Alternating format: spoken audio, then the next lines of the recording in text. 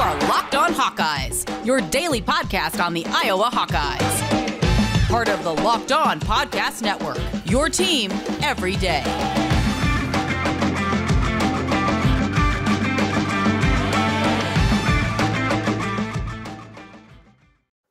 Welcome back, Hawkeye Nation, to a Tuesday morning episode of the Locked On Hawkeyes podcast, your daily podcast covering your Iowa Hawkeyes on the Locked On Podcast Network. As always, I am your host, Andrew Wade. Excited to be back for another episode today. And we have some interesting controversy surrounding a former Iowa football player, James Daniels, makes some very interesting comments in relation to the Chicago Bears and the Iowa Hawkeyes. We're going to be breaking that down first on the show. Then we're going to get into some recruiting news for the Iowa Hawkeye football team and wrap it up with some Iowa basketball talk. Iowa falling to Wisconsin. Is this team able to go to the NCAA tournament? Is this an NCAA tournament team? We're going to be talking about that later on in the show. But first, I want to thank you all for making the Locked On Hawkeyes podcast your first listen every single day. You can find us wherever you get podcast at and also on YouTube by searching Locked On Hawkeyes Monday through Friday. We have special guests joining a lot quite often. Uh, last Friday, we had our actually our assistant who kind of runs all of our social media and a former Iowa football player in that, Jake Fisher, on the show. So we have lots of special guests as well coming up as we get into the new year. And also, this episode, a lot of conversation about James Daniels today. This episode is brought to you by Sonos. Experience the game like never before with Sonos Arc, the premium smart soundbar for TV, movies, music, gaming, and more. Visit Sonos.com to learn more. So let's get into it. The big news from yesterday James Daniels spoke to the media.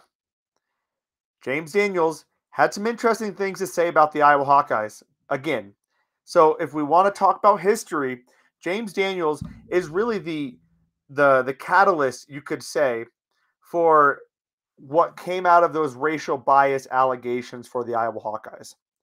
He was the first one to kind of tweet and started a movement among a lot of Iowa Hawkeye football players.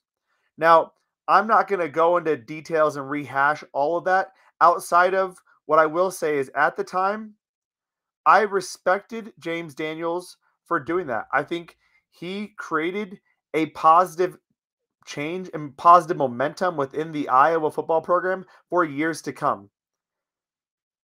There were some, you know, obviously some very controversial uh, things that happened and are, are still kind of going on with the lawsuit and whatnot. But from from my point of view, there has been a very good amount of change and a lot of positive change for the incoming Iowa football athletes. You can see it in the guys like an Ivory Kelly Martin, who was a fantastic steward of the program, a Tyrone Tracy, a Kaevon Merriweather. These are the guys who are up there advocating for the Iowa Hawkeye program, talking about how the changes have went, what they've seen from these changes, and how it's gotten better. We've seen Iowa loosen up some of the restrictions that felt like maybe they were a bit too drill sergeant like and a bit um, culturally insensitive. And we've seen Iowa put together some impressive back to back seasons, regardless of what you feel about this offense from this year. Iowa has managed to turn a corner and really play some very good football. Now, again, I, I go back to James Daniels. He started that movement, and I can I will always appreciate that. I think what he did was put some things to the surface that needed to be there. The Iowa Hawkeyes needed to address that. Kirk Ferentz needed to address that within the locker room. That was good.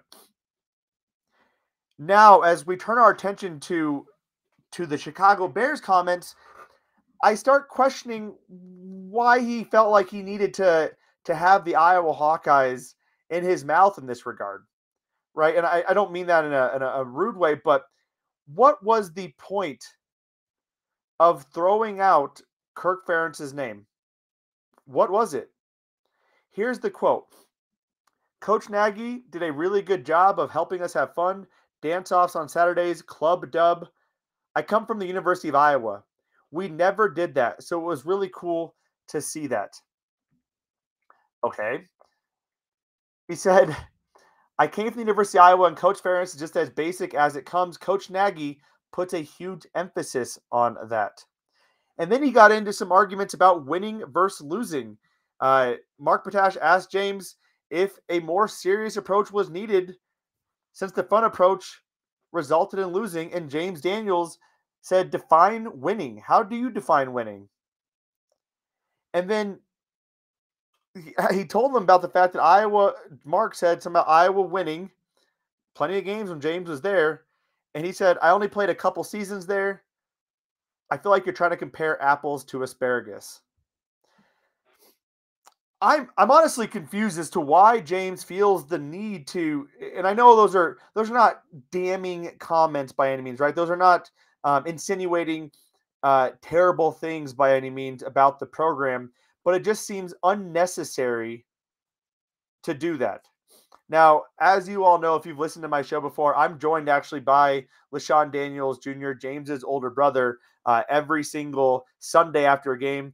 Uh, I, would like to say that I, I, know I know LeShun. He's he's a, a, friend, I guess you could say at this point. Um, I, I do like LeShun, and I love love our conversations on on Sundays. I don't know if he thinks of me as a friend, but I, I would like to think of LeShun as a friend at this point, and I, I do want to be uh, sensitive to, to that. Right, I'm not I'm not going to be rude or or uh, ridiculous about what James said, but I, I, just don't understand what the purpose of those comments were and why you feel like Iowa did you so dirty. It just doesn't. I, I understand you felt like you know there were a lot of issues in, within the program, but at the end of the day, you were winning games. You were, I would hope, having fun with your brothers and your teammates. And when I look at the stats, Iowa was winning. You were playing on a uh, on a 2015 team that won 12 games and went to the Rose Bowl as a true freshman. You played on an 8 and 5 team the next year and you played on an 8 and 5 team the next year. Those are 600 winning percentages. For the Bears, your first season 12 and 4, a 750 winning percentage. Then 8 and 8, 8 and 8, 6 and 11. So I define winning with wins and losses. I define winning by looking at the winning percentage. I don't know how there's an argument to be made against Iowa winning. And if I'm looking at this from a Chicago Bears fan perspective, I'd be a little annoyed. Yes, I'm glad you were having fun in the locker room. I'm glad Coach Nagy made it more fun for you. But the biggest thing when you talk when you hear and you talk to players who played at the collegiate level and then played at the NFL level, the NFL is a business. You are there first and foremost to conduct your business and to win and keep winning and to play well. Fun is second to that. To disregard winning in that sense is a little bit ridiculous. And to, to throw Iowa and Kirk Ferentz under the bus, to me, is a bit ridiculous. I, I just, I really am hoping that these comments are maybe taken a bit out of context. And even if we're being honest, again, these comments are not incredibly mean or mean spirited or just wrong, but they don't make sense to say. It felt like a passive aggressive jab or kind of a backhand towards the Iowa football program. Yes, eh, I'm, if I'm being honest, Iowa, their program, probably not the most fun program in the entire country. But would you rather be Nebraska and having lots of fun I would rather be winning and having fun after that. And you look at the way Kirk Ferentz cares about his players. Yes, Kirk Ferentz is not dancing in a locker room. Kirk Ferentz is not getting down like Mike Tomlin and, and you know dancing with his players like he did with the Steelers after they they won yesterday or on Sunday. Kirk Ferentz is getting up, he's giving speeches, he's getting emotional, he's crying, and the players love that too. It is different. Yes, it is not your normal kind of fun. But I would rather win and the fun can come after that. So the comments just to me were were incredibly weird. Uh, I'm not really sure what what to make of it at this point. Uh, let me know what your thoughts are. I know a lot of Iowa fans really um, upset about the comments. A lot of Chicago Bears fans upset about the comments. I'm wondering if we'll hear more from James after this. Um, but definitely an interesting thing to say in your press conference with no reason to throw any sort of jabs at Kirk Ferentz at this point. Coming up, we're going to talk about Iowa football recruiting. Iowa looking at some transfer portal targets um, and, and another legacy recruit they could be in on as well. We're talking about all that here in a few short moments. But first, Hawkeye fans, it's your host, Andrew Wade, with an incredible app everyone who buys gas needs to know about. It's called Get Upside. My listeners are making up to 25 cents for every gallon of gas every time they fill up. Just download the free Get Upside app in the App Store or Google Play right now. Use the promo code SCORE, that's S C O R E, and get a bonus 25 cents per gallon on your first fill up. That's up to 50 cents cash back. Don't pay full price to pump anymore. Get cash back using Get Upside. Just download the app for free and use promo code SCORE to get up to 50 cents per gallon cash back on your first tank. Some people who drive a lot are making as much as two to three hundred dollars a month in cash back, and there is no catch. The cash back gets added right to your account. You can cash out anytime to your bank account, PayPal, or even an e-gift card for Amazon and other brands. Just download the free Get Upside app and use the promo code SCORE to get up to 50 cents per gallon cash back on your first tank. That's code to SCORE. Put some money in your pocket when you're filling up at the tank. All right, y'all. And again, thank you for making the Locked On Hawkeyes podcast your first listen every single day. I appreciate each and every one of you. And if you are listening for the first time, make sure to find us by searching wherever you get podcast at and also on YouTube by searching Locked On Hawkeyes. We are here Monday through Friday. Now, talking about Iowa football recruiting, a couple things kind of popped off the last uh, week or so that I want to make sure I cover. Let's start with the fact that Mac Markway, a former Florida commit at the tight end position, a four star recruit out of Missouri, his dad, a legacy Hawkeye. We thought we had a chance to them initially. Uh, turns out we didn't. He did commit to Florida, but after they fired their head coach, Mac Markway decommitted and that recruitment is wide open at this point. Now, Iowa was in his top five, but did not seem like they were really in the running at any given point. Things are changing and things are trending upwards. He's visiting Iowa in January, and you have to consider the fact that Iowa just landed X. Now, I don't want to say all momentum is attributed to X, but when Iowa lands a guy like X, a five star recruit like him who can do recruiting, you land a guy like X, you're looking at some high, high recruits that Iowa is very heavily in on, and those recruits are very heavily in on Iowa, like a Caden Green, a Kadyn Proctor, or a Kyler Casper. You start looking at that landscape of recruiting. And if you're Mac Markway, you think maybe this is the home for me. Maybe there's something I missed. Maybe Iowa is building something that other schools can't say they are. And then you look at the pedigree of tight ends in the NFL from Iowa, you have to be pretty impressed. You look at the way Iowa uses their tight ends like a Sam Laporta or a Luke Lachey, especially Sam in that Citrus Bowl, having a phenomenal day. You have to be very excited about your prospects of going there, playing well, and making it to the NFL, which I can only assume is the ultimate goal for four star recruit Mac Markway. So, as we get more information on that, we'll make sure to cover that. But that is big news going into the class of 2023 as Iowa really picks up their recruiting emphasis on that class. A lot of big time targets. This could go down as one of the best, if not the best classes Iowa has ever landed. A lot of positive momentum going in favor of the Hawks right now. Now, they're also looking for immediate reinforcements as well. They're looking at incarnate word defensive end transfer Chance Main, a six foot three, six foot four, 255 pound guy, appeared on Last Chance U, a big time a big, I not big time, but a big defensive end, as Iowa looks to reinforce their defensive line. He's already received a North Texas offer. Sounds like Iowa's digging around a bit on him. As we get more information on that, we'll make sure to let you know. But what I find interesting about this is despite the fact that Iowa is only losing one guy in Zach Van Valkenburg, they are not stopping there. They are still looking for potential reinforcements. And Iowa has done a really good job of finding grad transfers and transfers in general at that defensive line spot. Getting a Zach Van Valkenburg, that was a phenomenal pickup by the Hawks. Could they go in and grab a Chance Main? Could be an opportunity as well to, again, provide a bit of a spark at that defensive end position. Now, the final recruiting piece I want to talk about is Ky Thomas, the Minnesota running back. Now, Iowa was a little bit in on this. They were not heavily involved. They're not going to be landing Ky Thomas. However, they did reach out, they made a connection, they were interested in Ky Thomas. And you might be thinking, why? Well, let me tell you why. Iowa has zero scholarship running backs that have been in the program for longer than a year. Zero. That's this number.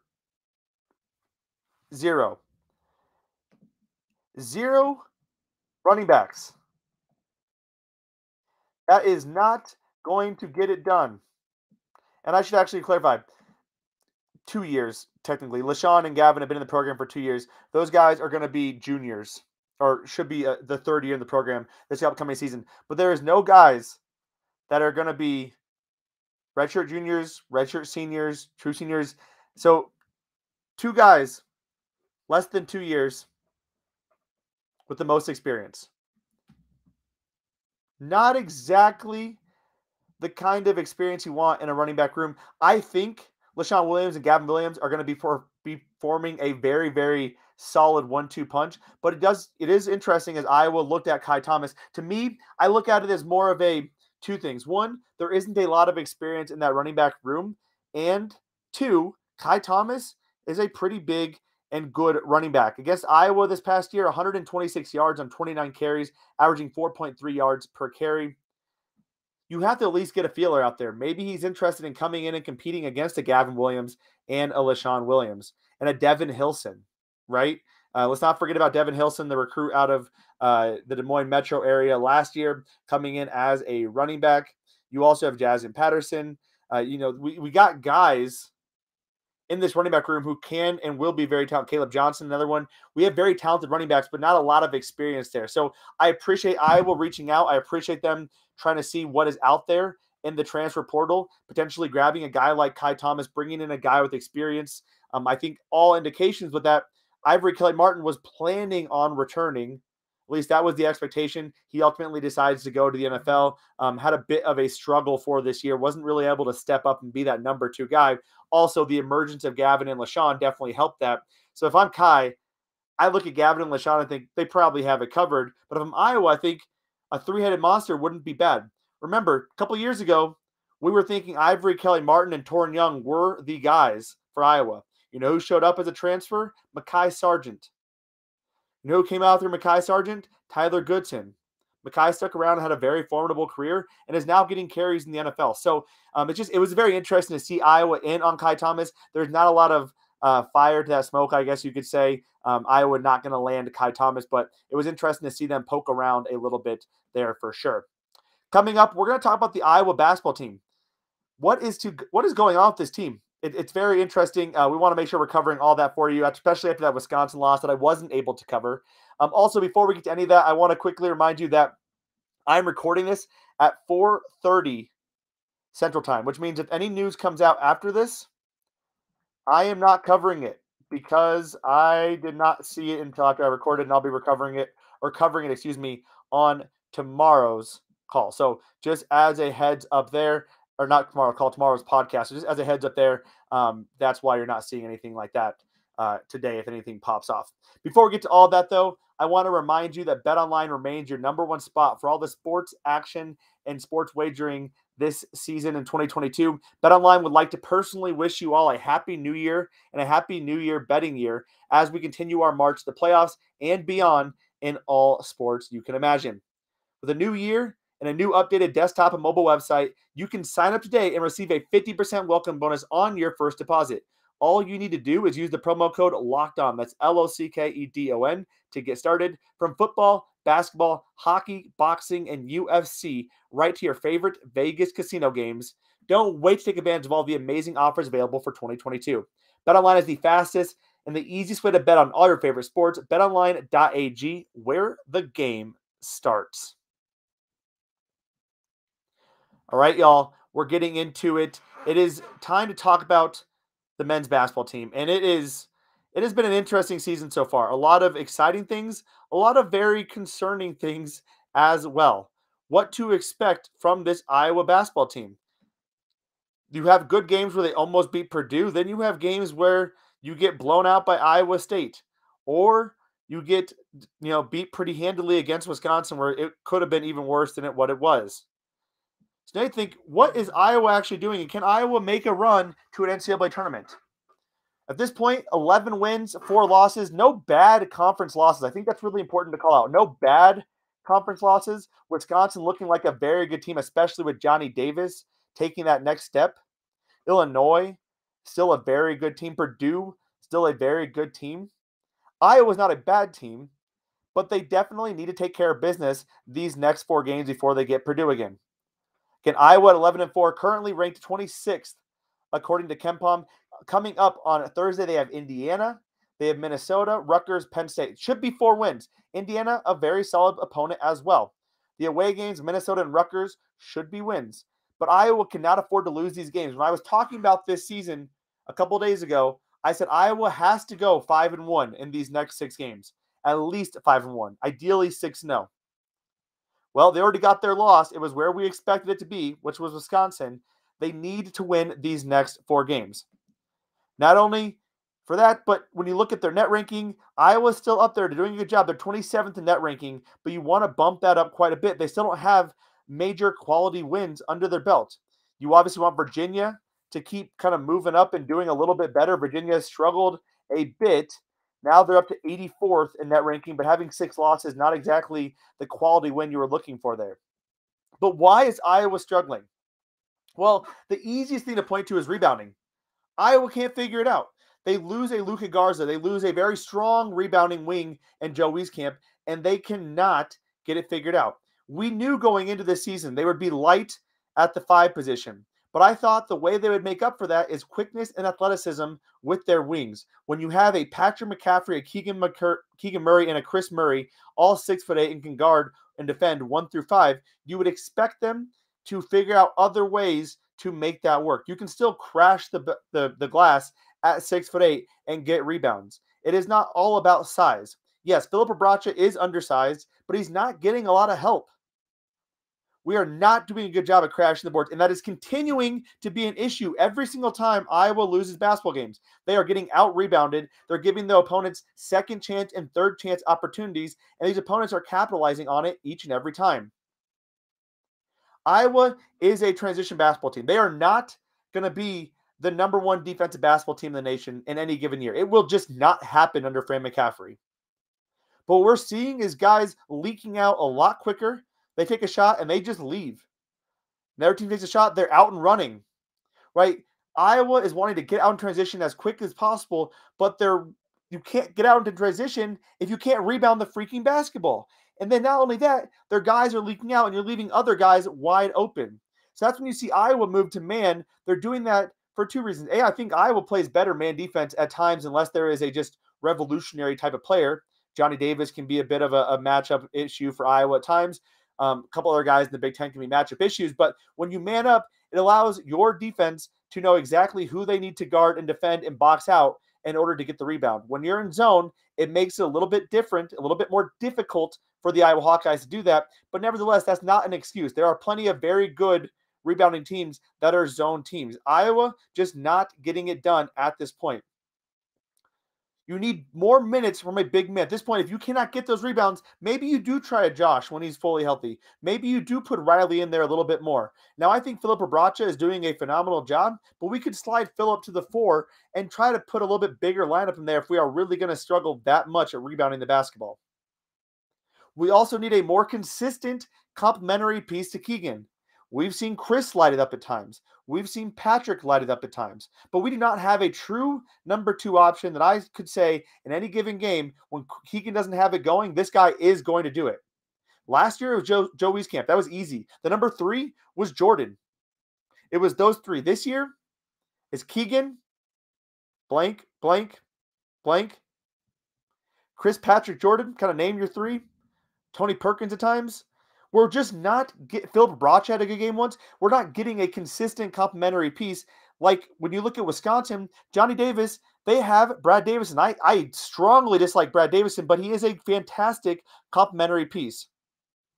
Now, the one interesting thing is when people think about Jordan Bohannon, the fact that he's not getting enough shots up, um, he's not making a lot of shots. He's not getting a lot of shots up. He is he isn't making a lot. He's not taking a lot. Jordan Bohannon is taking up a lot of defensive presence from other opposing teams. Look at what they did against Wisconsin. He was basically eliminating Brad Davison from playing defense against others because they were so worried about Jordan Bohannon getting hot. But that's why you need a Patrick McCaffery or Kris Murray or Phil Rebraca to step up and score more points consistently. It cannot be just Keegan Murray. We've seen this this dog and pony show before with Peter Jok. You cannot have one guy being the only guy. You need other guys to step up and consistently play better basketball. Now, again, the season is not over. There's a lot of season left. Rebounding is just as much skill as it is effort, or just as much effort as it is skill, I should say. And Iowa needs to put more effort into getting the rebounds and focus less about getting out in transition. If they can't get the rebounds, you can't get out in transition. You're not going to win some of these basketball games. The next four games are huge. Iowa needs to go 4 0. If they do not go 4 0, I do have concerns about this team making an NCAA tournament. I really do, especially if they lose the way they've been losing by getting out rebounded and playing lackadaisical defense. As we get closer to the game, so it's Tuesday when you're listening to the show, we'll be giving you a preview of the Iowa Indiana game. Thursday morning. We'll be breaking down the results of that game on Friday, so stay tuned for that. I want to remind you that when we're not talking about Iowa games, you can go to the Locked On Bets podcast. They have you covered for all things betting. They'll give you three to four games between your boy Q and handicapping expert Lee Sterling of Paramount Sports. They got three to four games you can bet on every single day at betonline.ag to put a little money in your pocket. So check them out as well. Hawkeye Nation, I appreciate you tuning into my episode today. Have a fantastic Tuesday. And as always, let's go, Hawks.